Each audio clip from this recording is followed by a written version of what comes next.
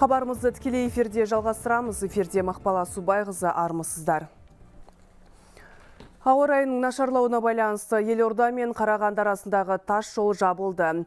Бас қала маңайына қатынайтын қоғамдық көліктің қозғалысы уақытша тоқтатылды. Бұл туралы CTS компаниясы хабарлады. Жалпы елдің бірқатар өңірінде бүгін жел көтеріліп бұрқасын соғады. Кей аймақтарда желдің жылдамдығы секундына 25 метрге дейін жетеді. Таңертеңнен тұман түсіп көктайғақ болады. Әсіресе арқа, батыс, солтүстік және шығыс аймақтар мен оңтүстікте Қызылорда облысында күн райы осындай. Сондықтан жолға шыққандар төтенше жағдайлар қызметінің ескертуіне құлақ асып, сақтанып жүргені абзал.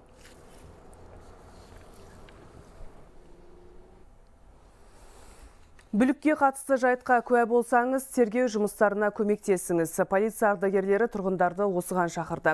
Сонымен қатар қылмысты ашуға дәйек болатын заттар мен құжаттарды құқық қорғау органдарына тапсыруды сұрайды. Өйткені кешегі дүрбелеңде бүлікке бастағандарды анықтау маңызды, ал мамандар айыпталушылардың кім екенін көпшілікке жария етуге әлі ерте дейді. Елде жапай тәртіпсіздік бойынша 500-ден астам қылмыстық іс қозғалды. Бірақ тергеу кезінде бұл көрсеткіш жоғарылауы мүмкін. Сондықтан қаңтар оқиғасы кезінде зардап шеккен азаматтар ғана тергеу жұмыстарына көмектесе алады дейді заңгер Марат Қоғамов.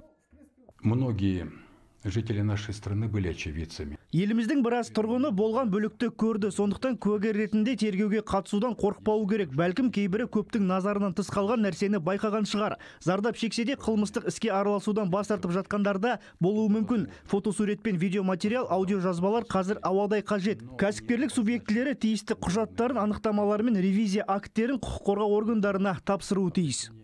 Мұның бәрі уақыт ұту үшін қажет. Өйткені тергеушілер дәлел дәйек анықтаймын деп жүргенде нағыз қылмыскерлер көзден таса болуы ықтимал. Президентіміздің жарлығымен қазір оперативно следственный группа құрылды. Бас прокуратура, КНП-ның адамдары бар, МВД-ның следственный подразделение адамдары. Солар қазір бірнеше группа бар. Солар үлкен жұмыс істеп жатыр қазір. Бұл жұмыс енді әзір олар қызмет істеп жатқан кезде айтуға құқылары жоқ заң бойынша сондықтан қазір оларға үлкен көмек халықтан кім нені көрді кім қандай нені телефонға өзіне түсірді соның барлық материалдарын соларға берсе мына тергеудің тез жүруіне жақсы себеп болады Бейбіт шерудің арнасын жаппай бүлікке бұру науқаны алдын ала жоспарланғаны белгілі. Өйткені бұзақылардан құралған бірнеше топтың тыңғылықты дайындалғаны білініп қалды.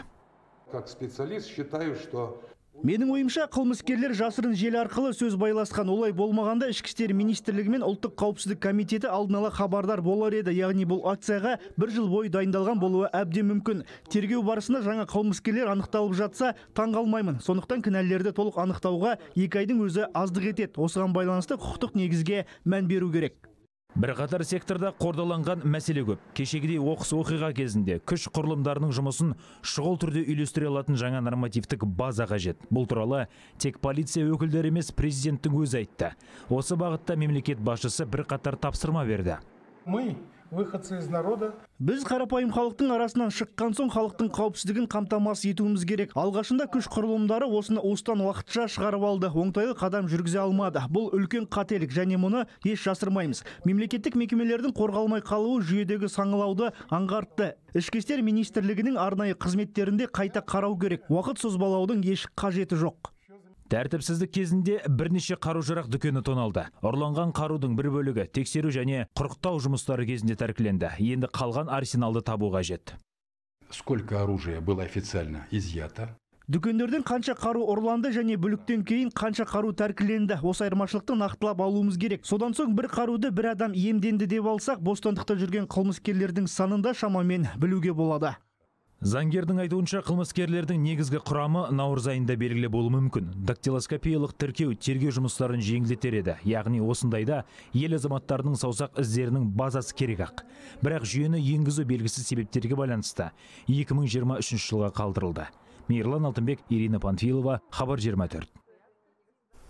Елде қаңтар оқиғалары кезінде, яғни 5-14 қаңтар аралығында мәйітханаларға 225 адам жеткізілді.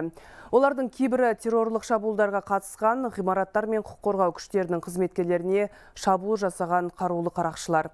Бұл туралы Қазақстан Республикасы бас прокуратурасының қылмыстық қудалау қызметінің бастығы Серік Шалабаев хабарлады. Ведомство өкілі бұл алдын ала деректер екен атап өтті. Олар әлде нақтыланады және өзгеруі мүмкін. Қалай болғанда да әл әр факті мұқият зерттеледі. Нәтижелер бойынша құқықтық баға берілетін болады деді Серік Шалабаев. Бүгінгі таңда тергеу жедел топтары 546 қылмыстық істі тергеуде оның ішінде 44-і терроризм актілері 34-і жаппай тәртіпсіздіктер 15-і адам өлтіру бойынша.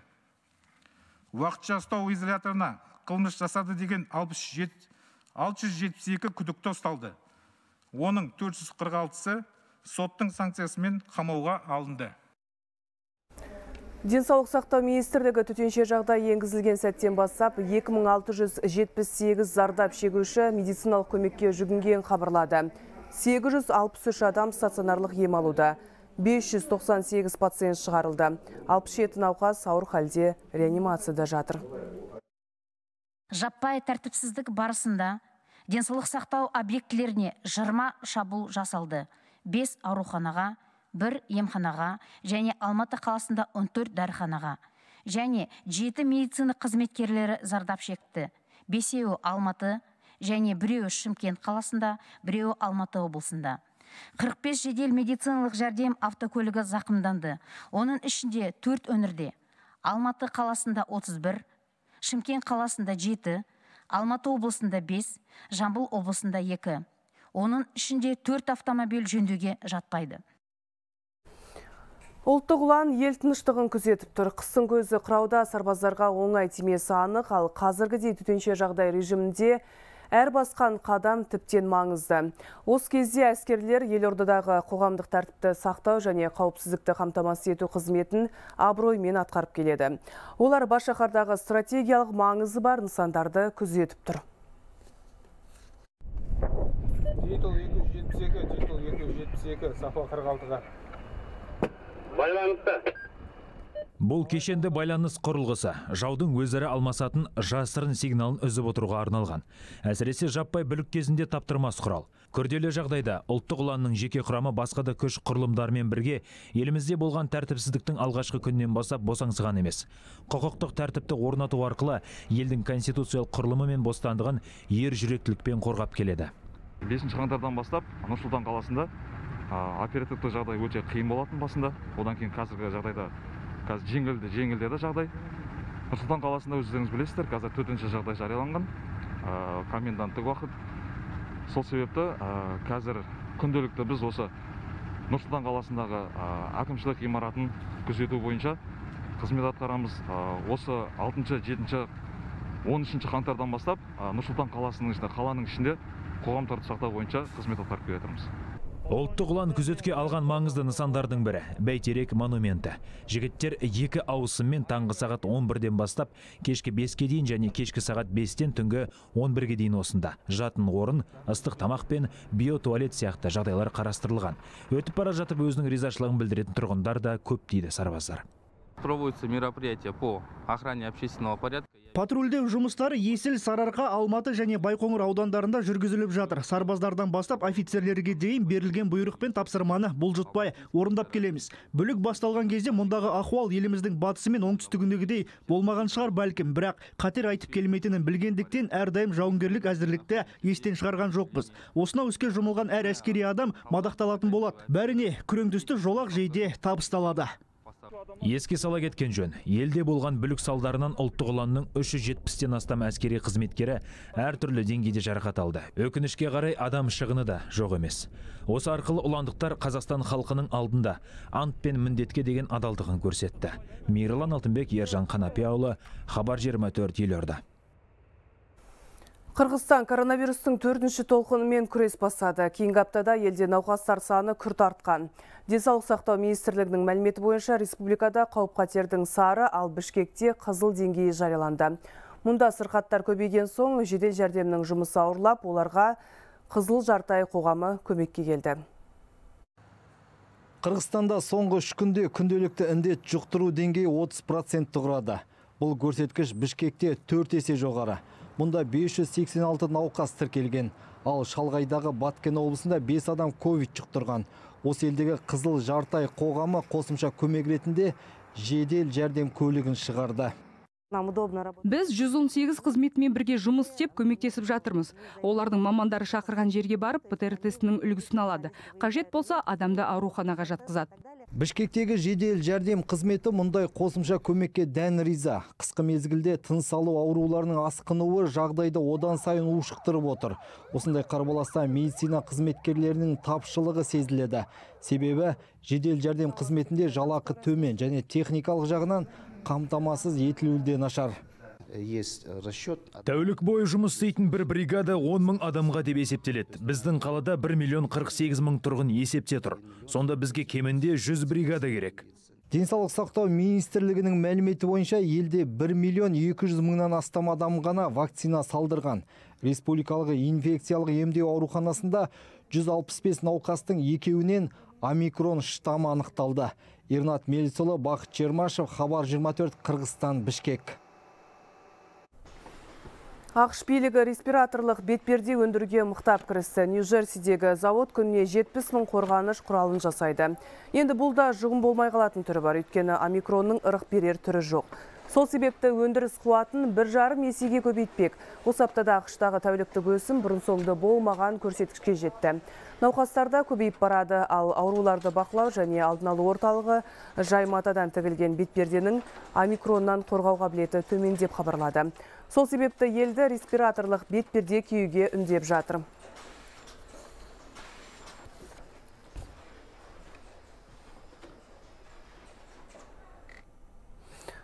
Бұдан жарты ғасыр бұрын бидайы ғасар қалашығының орнын қазғанда шыққан қос саз домбырасы. Екі жыл бұрын Ресей музейінен табылған еді. Тапқан елге белгілі археолог Әзілхан Тәжікеев. Біздің заманымызға 4 ғасырға тиесілі баба домбыра енді әлем ғалымдарының да назарын аудара бастаған. Заманында сол бидай асар қалашығы орналасқан Қызылорда облысынан тілшіміз Нұрлан Жақыпбеков сөз алады. Қос мойынды немесе қос саз домбыра бұл әлемдегі ең көне музыкалық аспаптардың бірі. Түп нұсқасы Ресейдің шығыс мұражайының қорында сақтаулы тұр. Ал Қызылорда облыстық музейіне оның көшірмесі қойылды. Ғалымдардың айтуынша өткен ғасырдың 70 жылдары Хорезм экспедициясының олжасына айналған құнды жәдігер біздің заманымыздағы 4 ғасырмен мерзімделеді елімізге белгілі археолог әзілхан тәжекеев.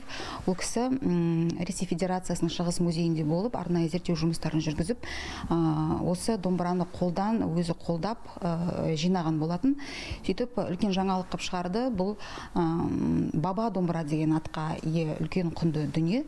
Бұл дүние сыр елінде табылғандықтан осы сыр елінің музейінде жалпы қызылорда облысының айнасы саналатын облыстық музейде тұру керек деп шештік. Кезінде моңғолиядан табылған шекті аспап біздің заманымыздағы жетінші ғасырға жатқызылып ата домбыра аталып кетсе сыр еліндегі қос мойынды аспаптың тарихы одан үш ғасырдай ерте екенін ескерген археологтар баба домбыра деуге толық негіз бар дейді. Және бұл туралы әзілхан тәжікеевтің ғылыми жариялымына норвегиялық ғалымдар да қызығушылық білдіріп өз зерттеулеріне қосқан. Бұл мақала жариялағаннан кейін бұл жоғары рейтингді журналда жарияланды. Кеше 15 декабрь күні ізін шала израильдің англияның газеттері бұл жайлы жан жақты жазып жатыр ол мақалалардан байқайтынымыз ә, сантын ху обасындағы ә, лираның атасы табылды. Соның түп түпкі нұсқалары шығып жатыр қазақстан территориясынан. Төрт мың шақырым қашықтықта деген сияқты таңғалыспен қазір бұқаралық ақпарат құралдары жазып жатыр. Бұл енді бір жағынан біздің жерімізде осылай табылған осы жәдігердің еуропамен байланыс болғандығын сол кезде дәлелдей түсетін тағы бір деректердің бірі деп айтуға болады. Көне қоссаз домбыра англиядағы саттон ху обалы қорымынан табылған лира аспабынан да бірнеше жүздеген жылға көне екені анықталған. Мұндай құнды жәдігерлеріміздің қатары алдағы уақытта тіпті көбеюі мүмкін. Өйткені ресейдің ғылыми орталықтары мен мұражайларында кеңінен зерттеуді қажет ететін 700-ге жуық ағаш бұйымдардың бөлшектері бар екен. Енді алдағы уақытта біз 700 ағаш бұйымдарының фрагменті бар деп. Домбыраға кәдімгі қазіргі домбыраның шанағына ұқсас та фрагменттер болды. Енді осы зерттеулерді жалғастырып біз әлде де басқа да музыкалық аспаптарды құрастырып шығарамыз деген ойымыз бар. Қазақ мәдениетінің көне ошақтарының бірі. Сыр еліндегі жыраулық дәстүрдің тарихы да өте терең болғанын айтулы баба домбыра дәлелдей түседі. Сондықтан бұл бағыттағы зерттеулер әлі де жалғаса бермек дейді ғалымдар. Нұрлан жақпеков әлхайдар тұрлыханов қызылорда облысы хабар 24 әзірге айтарымыз осы. Назарларыңызға рахмет.